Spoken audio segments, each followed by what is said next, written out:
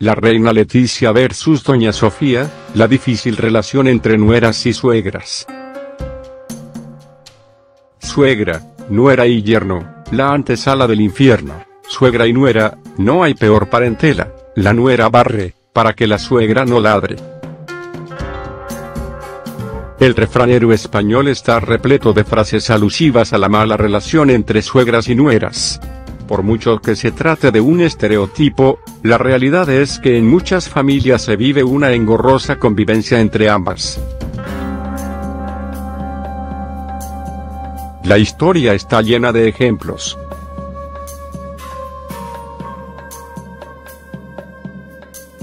La archiduquesa Sofía hizo la vida imposible a la emperatriz Sisi, la zarina María Fiodorovna criticaba abiertamente a su nuera, la princesa Alix de S. y María Cristina de Alburgo no ocultaba su animadversión hacia Victoria Eugenia de Battenberg, la abuela del rey Juan Carlos.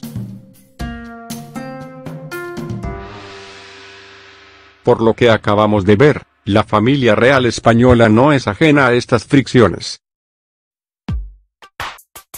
Pese a que ya se sospechaba que la relación entre las reinas no era idílica, nos hemos quedado perplejos al ver a doña Leticia intentando impedir a toda costa que la abuela se hiciese una foto con sus nietas Leonor y Sofía. ¿Qué ha podido pasar para que doña Leticia tenga un comportamiento tan maleducado con su suegra delante de las cámaras? Signo de interrogación, signo de interrogación abierta que se esconde detrás de esa imagen. ¿Es la reina Sofía una suegra tóxica? Por mucho que el gesto de doña Leticia sea ridículo y que todas sintamos simpatía hacia doña Sofía, seamos sinceras, que levante la mano aquella mujer a la que su suegra no haya sacado de sus casillas en alguna ocasión. Hay muchos tipos de suegras, la entrometida, la inoportuna, la controladora, la mártir, la envidiosa, la falsa, la chismosa, la tóxica, la perfecta, la pasota, la juvenil, la ideal, la amorosa, la opinóloga, la enrollada. Pero, todas tienen algo en común, su hijo es maravilloso y nada es lo suficientemente bueno para él.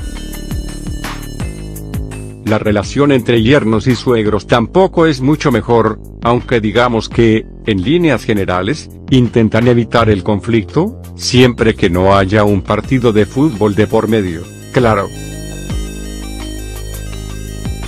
Pero, en el tema de la educación de los niños suelen preferir mantenerse en un segundo plano. La suegra puede permanecer agazapada durante años, conformándose con soltar indirectas, hasta que llegan los nietos. En ese momento, arranca la competición. Y no hay vuelta atrás. Como si se tratase del Rally Dakar, la suegra calentará neumáticos, acelerará, cambiará de marcha, hará punta tacón, trazará curvas, derrapará, soltará embrague, realizará slaloms.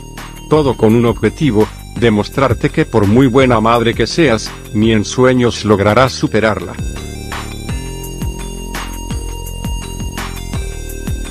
La retaíra de consejos así, desde el mismo momento en que tienes a tu bebé en brazos, empieza el rosario de reproches, no le cojas, que le vas a malcriar, déjamelo a mí que yo le duermo en cinco minutos, que coman lo que quieran, total si son niños.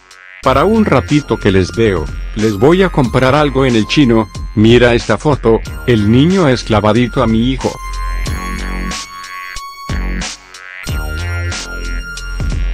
Los motivos de los enfrentamientos son muy sencillos. Tú quieres criar a tus hijos de una manera y ella, les educa de otra totalmente distinta. Además, por muchas instrucciones que des y por numerosos post-it que pongas en el frigorífico, todo será en vano, tu suegra hará lo que le salga del bolo. Si dices que no quieres que los niños coman pasta, sino verdura, ella preparará un plato gigante de espaguetis. Si no les dejas jugar a la tableta a determinadas horas, estarán toda la tarde con la pantalla, si se tienen que acostar a las 10, lo harán a las 12, si no le dejas comer chuches, les habrá comprado una bolsa repleta de gominolas.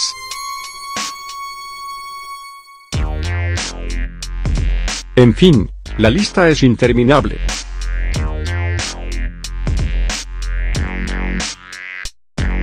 Las suegras hacen cosas que nos sacan de quicio como las visitas sorpresa, las llamadas telefónicas a todas horas o esos domingos de comidas familiares interminables, en las que, por supuesto, ellas preparan un manjar digno de dioses.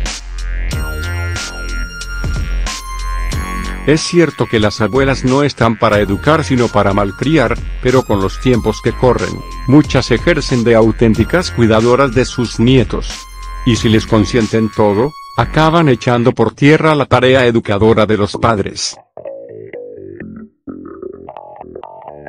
La bronca está, por tanto, asegurada.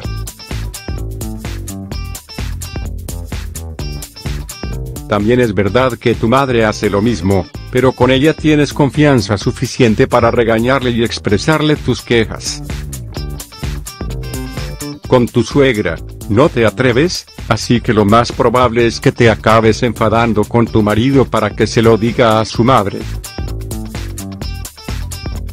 Pero ya se sabe cómo son los hijos, tu mensaje llegará a la emisaria totalmente dulcificado.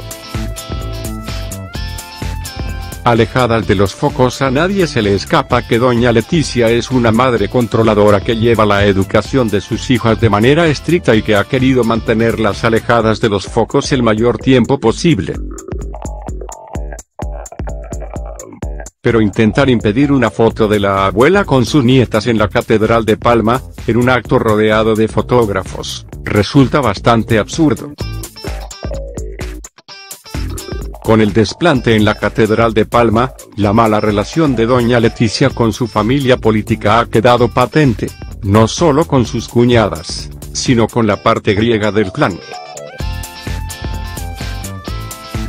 No hay más que ver lo poco que tardó en reaccionar la exquisita María Chantal Miller, casada con Pablo de Grecia, primo del rey Felipe Villa amigo íntimo, ninguna abuela se merece ese tipo de trato.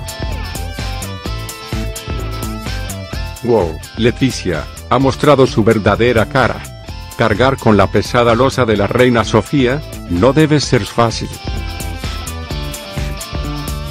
Tal vez la reina tenga sus motivos para hacer lo que hizo. Pero, desde luego, ni las formas ni el lugar son los apropiados. Doña Leticia ha ingresado por derecho propio en el club de las malas nueras.